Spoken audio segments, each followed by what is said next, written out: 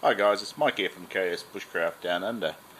Today's project is I'm going to fit a snorkel to the uh, Hilux Revo.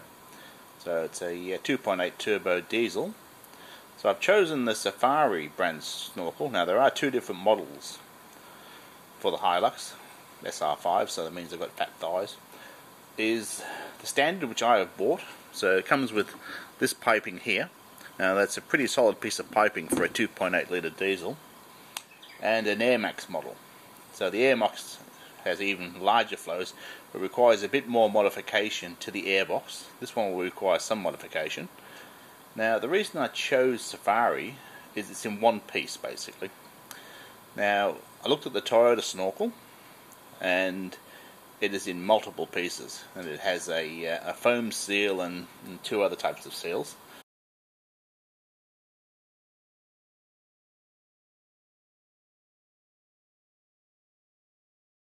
So it's just more places for something to go wrong. So I think this is to be a good fitment, and that's what's coming up. So if you want to watch me fit the snorkel and cut big holes in my car, hang in there, guys. Okay, guys. Sorry about the steady, unsteady handheld camera stuff. So step one, remove the air cleaner assembly, and we'll be taking out the inner guard liner and the mud flap to get access. So I've got. Uh, three 10mm bolts to deal with.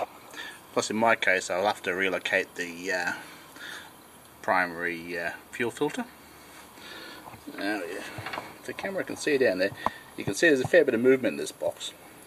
And it's just got a foam seal between there and the inner part of the air cleaner assembly which is inside this guard here. So to remove the air cleaner I'll have to uh, unbolt this that's your uh, mass airflow sensor there. Now these clips here aren't round, they're rectangular, so you need to come in from the angle. So basically you need to bring in your tool in this direction. So there are two clips on the lid and one, two, three, three on the base to remove then I can lift this section off and unbolt the base. Okay guys, that was a bit fiddly. So it was difficult to work out which way these clips were in. So that one at the base is actually on a 30 degree angle down there. So mass airflow sensor lead up and out of the way. Being disconnected. So now we'll just have to unbolt this air cleaner assembly. It's all going well that was a bit of luck. I only had to uh, remove the three bolts. I didn't have to uh, back off my uh, 30 micron pre-filter. So the unit's free now, which is all good. Pipe works nice and clean. It's a good idea to keep a check on these Toyotas, especially if you're operating in dusty conditions. And inside the airbox is perfect. Which just goes to show you that having that intake sealed inside here, or semi-sealed, isn't that bad of an option, guys. It really is not. The airbox is out. So this device in here is a pre-spinner. It doesn't actually spin. It actually spins the air. So you can see this foam sort of seal, which is what these factory, well, factory filter and snorkel rely on. So I don't think it's the greatest. So we'll be cutting this off and saving the spinner and returning it. So at the base of the airbox is a duckbill valve which allows uh, dirt and water and whatever might come down out and the drain valve. So focus there yep. So there's a drain there. Now Safari recommends blocking both of these. I'm not 100% certain about that idea. I'll give that some thought. I can always do it after because it's a good idea that to be able to drain. It's what it's designed to do yeah Okay guys, the airbox is out. There is the inner plastic insert that that foam seal was sitting around. So, the next move we're going to, uh, well we've taken off the mud flap. So the mud flap's held on by three 10mm headed uh, screws. So then we'll get onto these clips. Okay guys, so this style of clip, you just need to go gentle. And what you want to try and do is unlock the inner piece. It's a male female sort of joint. I just go gentle. You know the moment it's unlocked.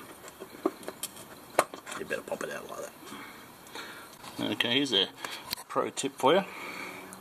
So the inner guard is attached to the front bumper bar here by three screws and also a, a clip down here. Okay guys, I've got the inner fender down. Now these clips here, they have a locking tab. You have to try and work out where to push them. I suppose there's body shop guys that know exactly how to do it. I like to, uh, well I rough out the first one, but you can actually see the locking tab, how it should work. Anyway, love and learn.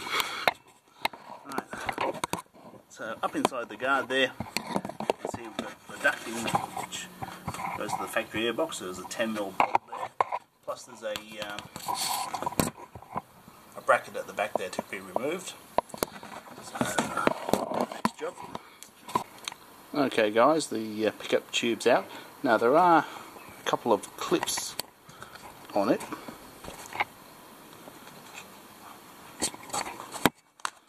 don't know if that was like that in there, but the, the factory snorkel connect, kit connects to this, and it's certainly in two pieces, so I don't know if I'd be trusting that. Okay, so I've removed the air intake sound dampener. It's the same style of uh, rectangular clip. Uh, this one folded before I got hold of it. Anyway, she's out. Okay guys, I've got the template on. Found it a little bit difficult to place the template because the guard has such a bulge on it but I've aligned it with the uh, edge of the panel and this top here. So there should be enough wiggle room by the time these uh, holes get drilled. I actually imagine it to be sitting further forward. But anyway let's crack on. Okay guys so I've got to uh, drill out these holes to 16 millimeter. So I'm using this step drill. Now I've taped off this will go up to 18 mil. So I've taped off the 18 so I don't go too far. Now these are quite good for drilling a thin sheet metal unlike your regular drill bit that'll want to grab it and rip it through. These are quite steady. Pilot holes.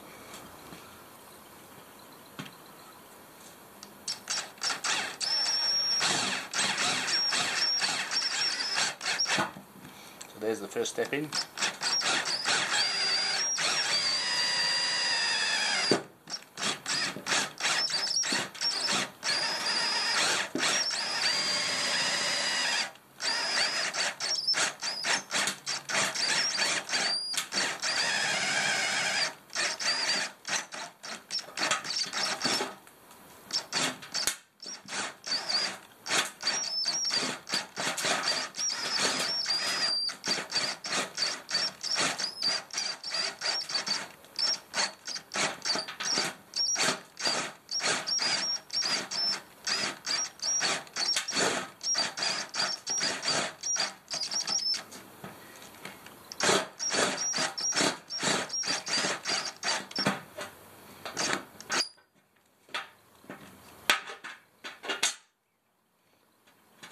There we are.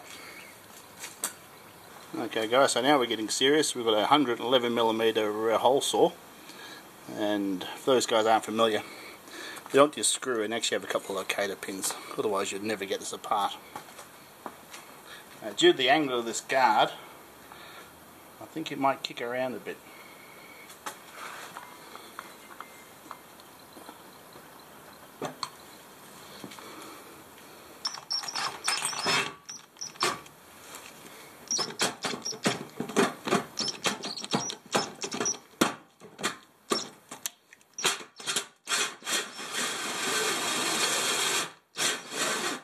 Backwards because it's biting too hard.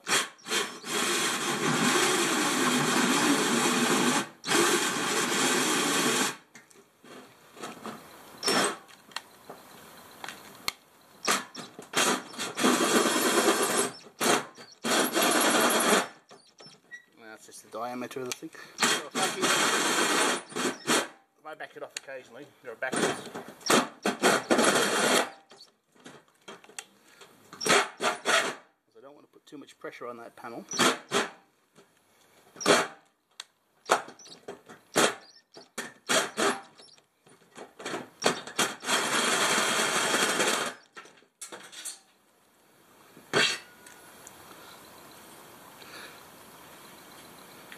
Slow and steady. Okay, there's the hole saw done. Now it says in the instructions an air operated body saw which I don't have so I'm going to work it with either hacksaw blade or I'll try my tin snips first hopefully that'll uh, cut it.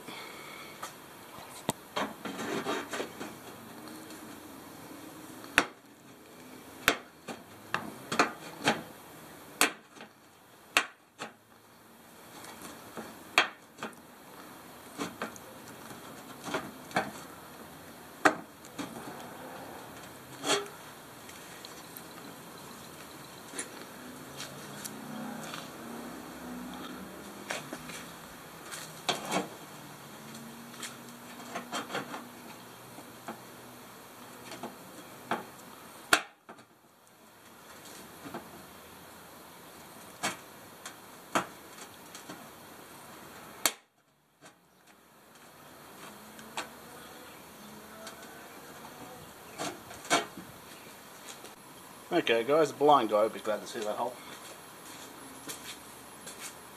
So what I'm going to do, I'm going to deburr these holes, then I'll uh, have a bit of a test fit, now that looks okay. I'll tape this up and paint it from the back side, then I'll paint it from the front side because the last thing we want is anything like that. Now, for those that aren't familiar, this is a deburring tool. It will take those nasty daggy bits off so that whoever plays with us in the future won't get cut fingers. And it also stops rust starting as well. So not really a technical tool. I could have done it with my uh, little sanding wheel on my Dremel. That would have done it as well. What I've done there I've put tape on the outside of the panel. I've sprayed the inside of the panel where I've been drilling.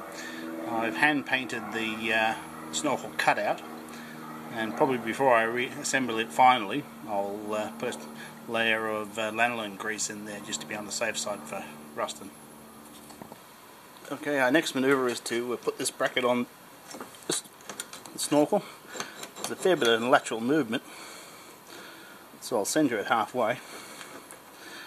Now there's some cutouts, well divots below it to allow for the heads of the of the screws that will be going into the A, Pillar of the car. So I'll have to transfer the markings from this to the car and take it off again and re-drill. Now I'll fit the studs and the studs I'll be Loctiting in as well. They'll be finger tight but they will be Loctited. Okay so no need to go crazy on the Loctite.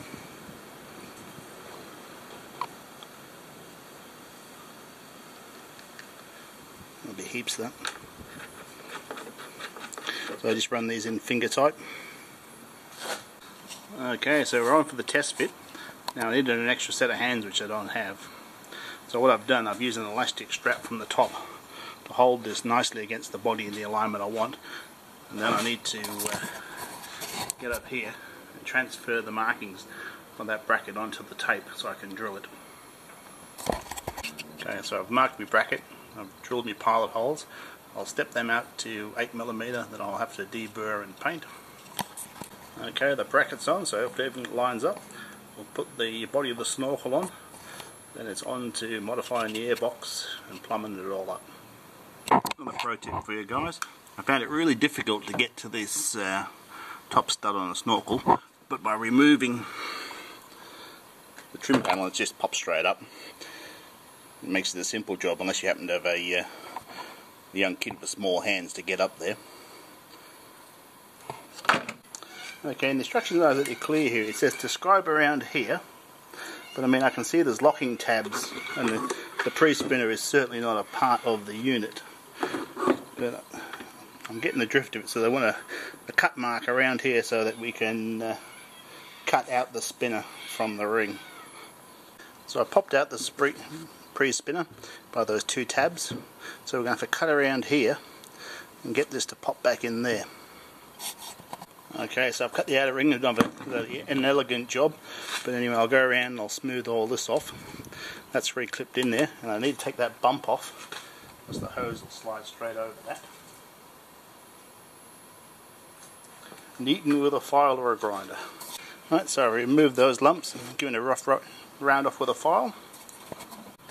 Okay, so for the moment I'm not going to block up the holes. Now the diagram shows it clear which way the pipe goes round. Um, I would believe this would be the, the restriction to get through the body. This kit you don't need to cut the inner, inner wall. We'll find out in a minute anyway. Okay, so this has to come through from the back. So there is a, a collar on here for this panel mount here. So it's not grabbing that. Now we need to connect the snorkel end and put the Jubilee clip on here before we put the airbox back in.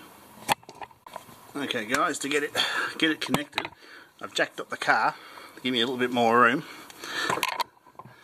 There's the uh, inside. There's the uh, top joint, make sure you put the clamp on so you can tighten it up. What I actually did was I started the inside first, that allowed me to roll that rubber back. A bit tricky actually. Okay guys, everything's going along splendid. The collar's in, you can see the this is the panel joint there.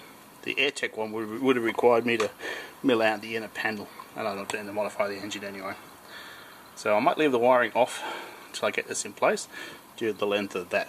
Might make it a bit of, more of a struggle. We shall see. Okay, so the 310 mils are back in. The, uh, the pipes nice and clear of the, the bodywork down there. Just going to tighten that clamp up. Back one's in. So I'll give this a wipe out. A little bit of dust on the dirty side, clean on the clean side. Then uh, we'll get the wiring back in and the lid back on. Okay guys, MAF sensor, mass airflow sensor. Put the wiring back in, bolts are on, that's on. Let's look on the part. Put the, put the snorkel head on. I've still got to put the inner guard back in place. And uh, I'll look a few fun and games. Well, I'm losing the light and my work light's going flat. So I'll, we'll see how we get on with that. But it's all boxed up and she's a runner.